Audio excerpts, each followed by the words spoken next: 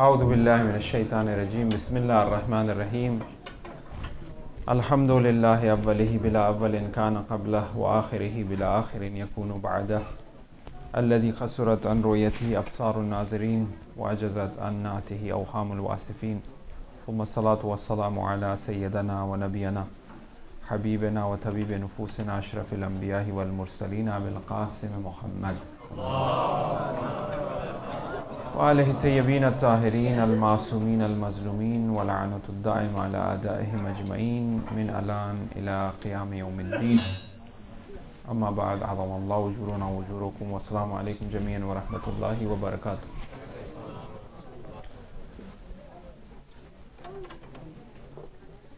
There is a short dua that we tend to recite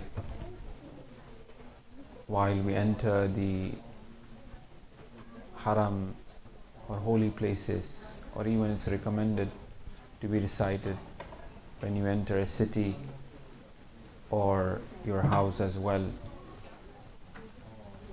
It begins by saying, اللهم أدخلني مدخل صدق وأخرجني مخرج صدق وجعلني من لدنك سلطانا نصيرا in which we ask Allah subhanahu wa ta'ala that entry of C and an exit an exit of truthfulness. And ha sent us with a special convoy of help from you, from your side. As we are entering the 10 nights of Muharram, and usually the first night we tend to discuss or talk about the great sacrifice of Muslim ibn Aqil. And the first cousin of Imam Hussein alayhi salam, Muslim ibn Aqil.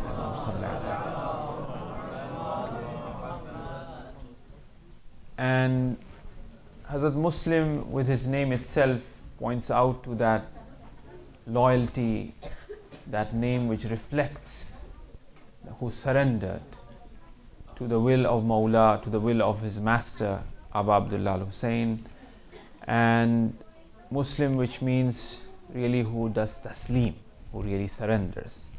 So the month or the nights begin by discussing the sacrifice of Hazrat Muslim, which symbolizes, which tells us, which asks us that for us, in order to enter this journey, in order to be part of Imam Hussein salam and the message of Imam Hussein salam, one have to be a true Muslim. A one who truly surrenders to the will of Allah subhanahu wa ta'ala which in fact is the very will of the Imam, is the very will of Imam Hussein salam in the case of Hazrat Muslim ibn Aqil. Now, as we begin the month, as the hadith says that there is a special harara, there is a special sort of feeling, heat in the hearts of mu'mineen towards Imam Hussein alayhi salam. And this is what and because of what we have gathered here tonight. Now, when we say Allahumma adkhilni mudkhila sidq, what is sidq? What is truthfulness? What does it really mean? Now, see, everything is dukhul. Everything is dukhul. You enter. Allahumma adkhil ala ahli al-khubur surur. That's what we ask for we have been brought in this dunya it's what is dukhul you know it, we have been brought here right and we have been brought in that state of truthfulness and purity which is that fitrat that we are born with. So now when we are entering a haram now we are when we are entering these 10 nights we should ask for that sidq. That when we come here we come here with truthfulness. And that truthfulness is what? That truthfulness that truthfulness is that who who i am a feeble a weak a limited being which cannot be compared to the dust of Abu Abdullah Hussein salam. That's how I am. That truthful entry is needed. An entry without any sort of attachment to oneself. An entry that will take us to this journey of Tawheed. And Imam Hussein salam in the message of Imam Hussein salam was nothing but Tawheed. You know, it is inna lillah wa inna ilayhi rajaun. That's what it is. And we don't know how this ruju of ours would be. So we have to make sure that we fully benefit from these 10 nights. That we ask for that great soul, Bism Muslim, for that great soul of Muslim ibn Aqil, that our journey of ruju to Allah subhanahu wa ta'ala be a truthful ruju.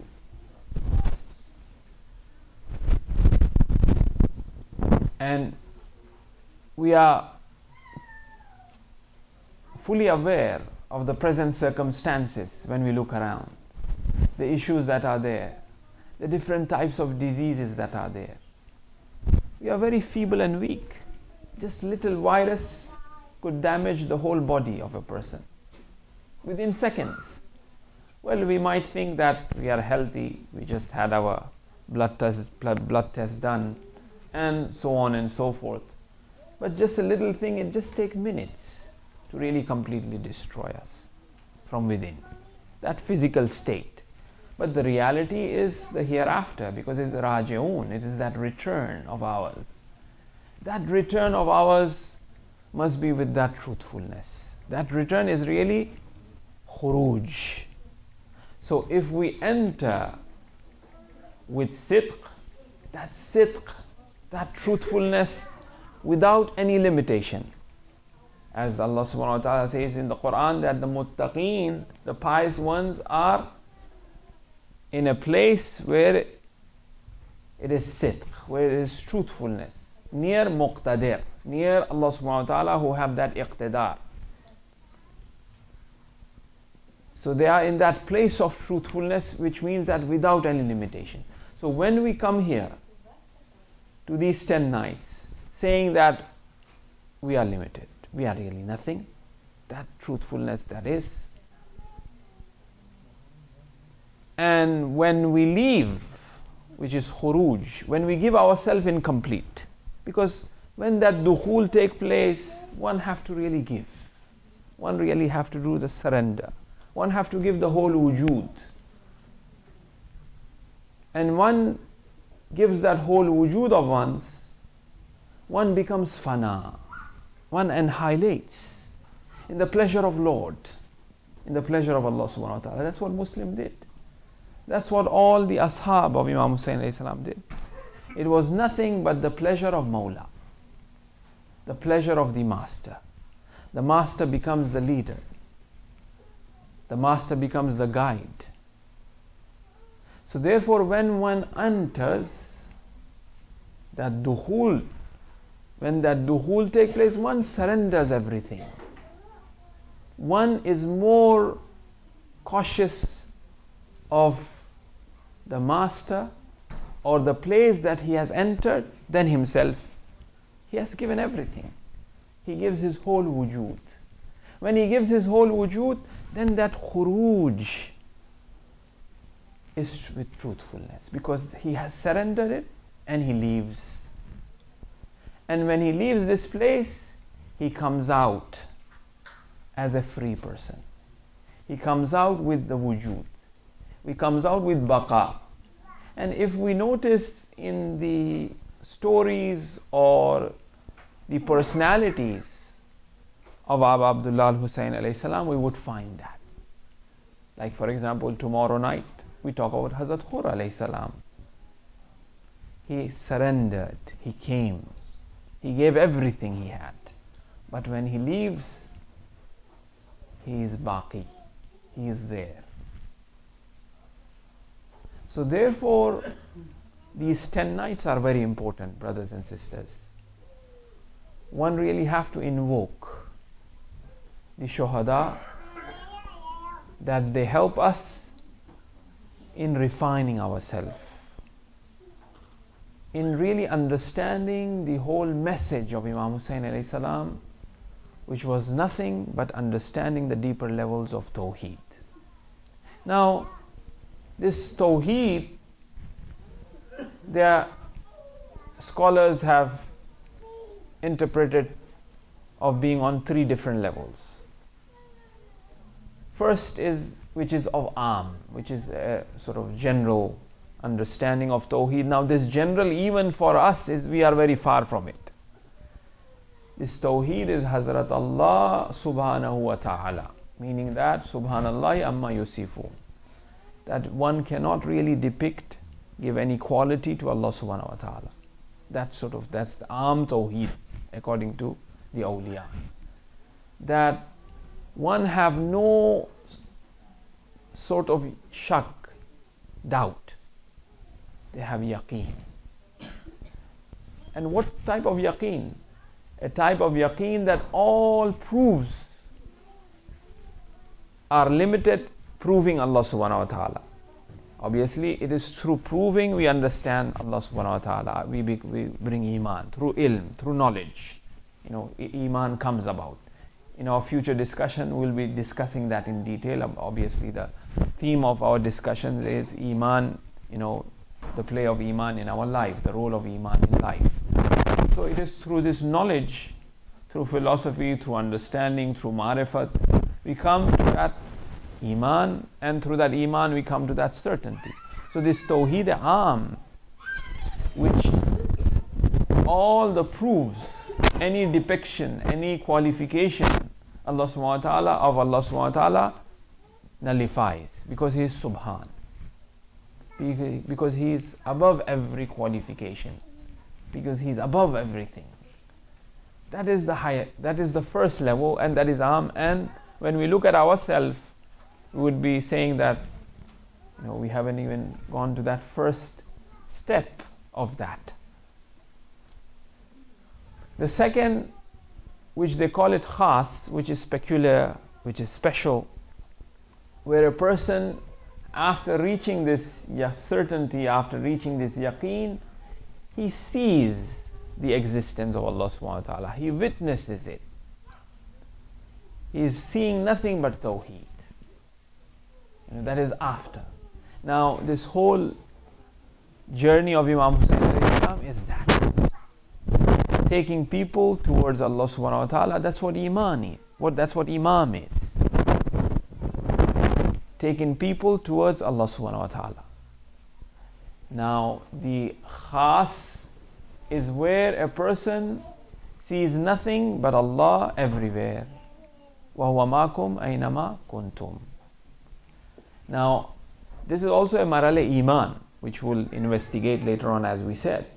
But an iman that have crystallized, iman that have reached to a point where, you know, all of his actions is nothing but that there is no sort of fear.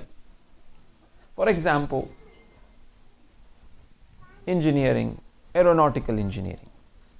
When a person sort of comes to the understanding this is how an aircraft works, he comes to that certainty with all the calculation that he has. But at the same time, something could go wrong. You know, that fear factor is there. Bad weather, you know, so on and so forth, whatever happens, for instance, right? Miscommunication, miscalculation, satellite failure, right? All of that are there. So there's a state of iman, faith there, in terms of on the basis of the knowledge that the pilot have or that engineer whatever had, and he jumps into it or he carries on, you know, his task. But at the same time, that fear factor is there as well. But that khasul khas is where that there is no fear factor. Even if one loses, he wins. There's no sort of losing there. There's only nothing but victory. He has reached to that point. So that is why Imam Hussein salam says that death to me, you know, is better than a life, you know, without dignity, right? So a person thinks that death is it. A person fears death. He is afraid of death. But for a person who have that certainty and yaqeen and tawheed khasul khas, for example, for him is nothing.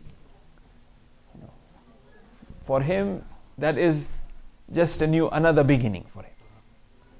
So, the Tawheed, the understanding of Allah subhanahu wa ta'ala, which is khasul khas, is that where He is witnessing, whether that be on this physical realm, on this physical plane, or that on that higher realm where He does that sayr, where He does that journey every time He prays, every night vigils that He has when He connects to Allah subhanahu wa ta'ala. One might think that places which are deserted are not the places to be there, but those are the places that one would find Amirul Mu'mineen. When they asked him, Why do you go to the graveyard so much? He says, What Ali finds in the graveyard, he will never find that in marketplaces.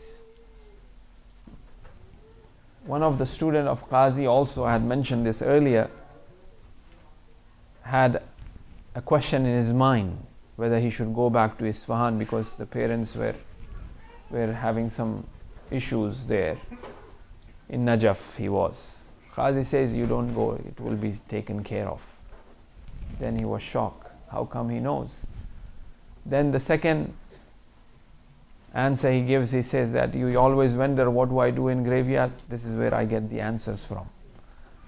So the, the other the student always wondered that why does Qazi is always saying in Wadi Salam? Because this is where everything happens.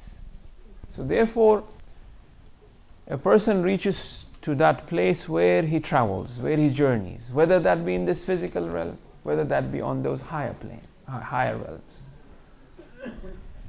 Now the final one, which is khasul khas, which is we said tawhid am, which is tawhid khas, and khasul khas is is nothing but that truth itself, is nothing but haqq itself, where one have completely and highlighted and become one with Allah subhanahu wa ta'ala.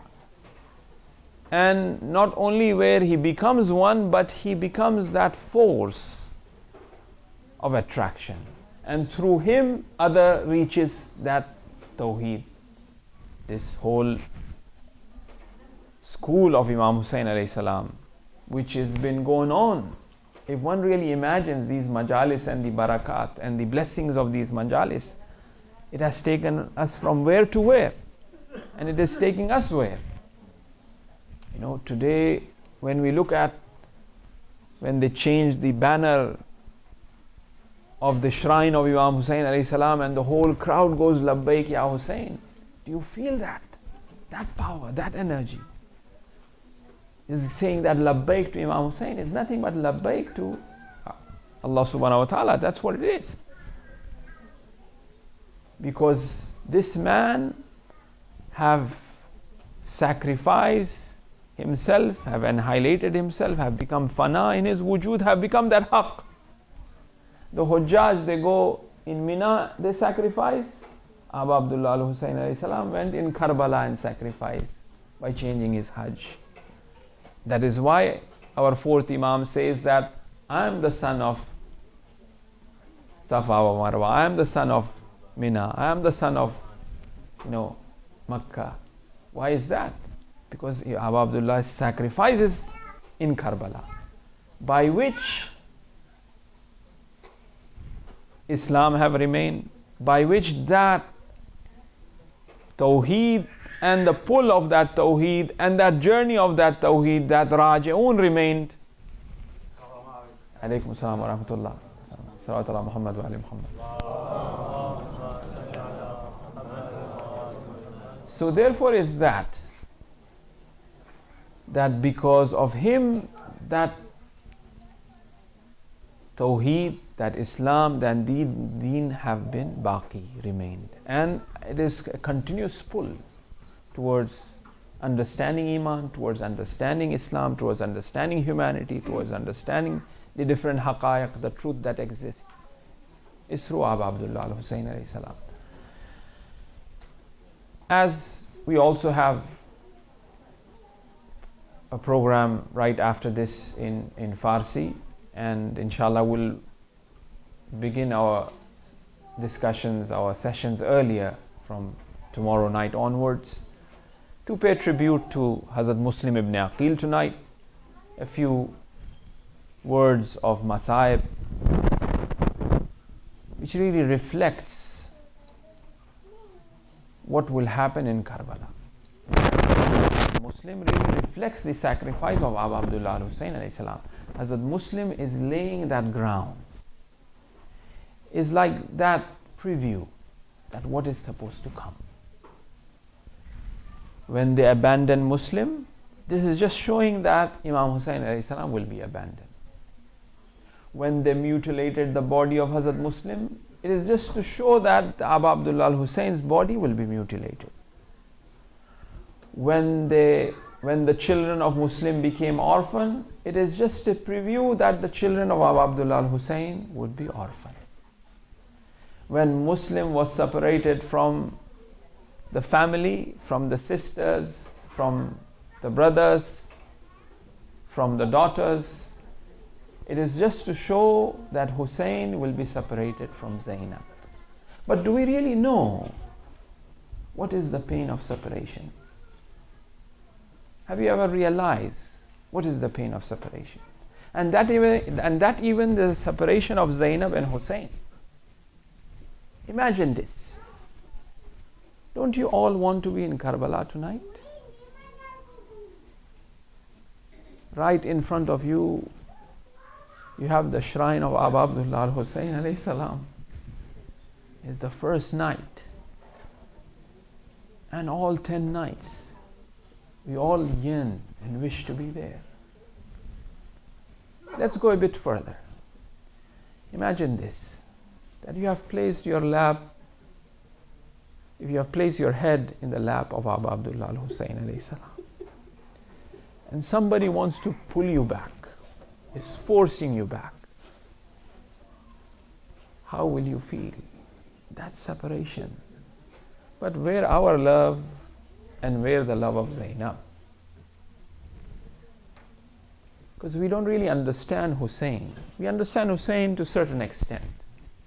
You know, who was this Hussein? This Hussein was the one the Prophet would kiss the neck of Hussein. The Hussein is the one for which Amirul Mumineen says, By God, the shroud of Fatima cuts open and she raises the hands and she says, Come, Ya Hussein, to me. This is the Hussein. So the separation of Zainab Hussein is unimaginable. So when Muslim is separated from the sister, when Muslim is separated from the family, it is just a preview that Hussein will be separated. Look how they abandoned Muslim. When Muslim came to Kufa, 18,000 or more people have pledged to support Hazrat Muslim and Imam Hussein and to welcome Imam Hussein salam. When Hani was finally arrested and Muslim tried to gather the support from people, only 4,000 came to support Hazrat Muslim alayhi salam. There were reasons why 4,000 came because it was a, a, sudden sort of announcement of Muslim to really, you know, get them ready to go to the court of Ibn Ziyad and free Hani, and many were already arrested because, as we know, that Noman, who was the governor, was taken by surprise, was taken out by surprise by Ubaidullah ibn Ziyad. Ubaidullah ibn Ziyad was the governor of Basra because Basra was given trouble to Yazid. Yazid was advised to place Ubaidullah ibn Ziyad in Basra because Ubaidullah ibn Ziyad, which means Ziyad was also a, a, a very, was a despot, was a criminal. He was famous in terms of his crimes and he was in Basra as well. So the people of Basra knew who Ziyad was, and when his son becomes the governor, they supported him in a way. So, supported in the sense that they just surrendered to him, to the crimes that he committed. So, he was in Basra, and Kufa was falling in the hands of Muslim ibn Aqil. Muslim have gathered support. 18,000 men is, is not less.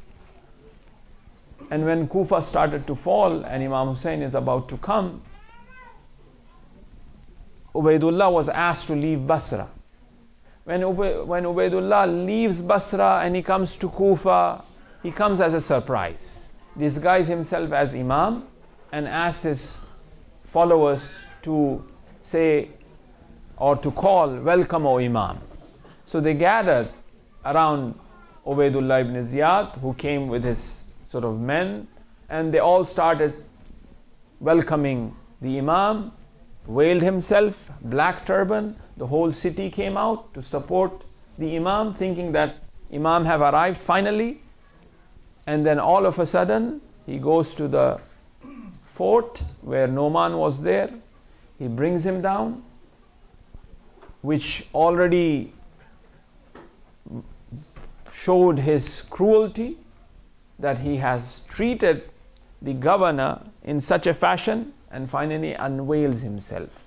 When he unveils himself, that kind of brought that shock and awe in the hearts of the Kufans.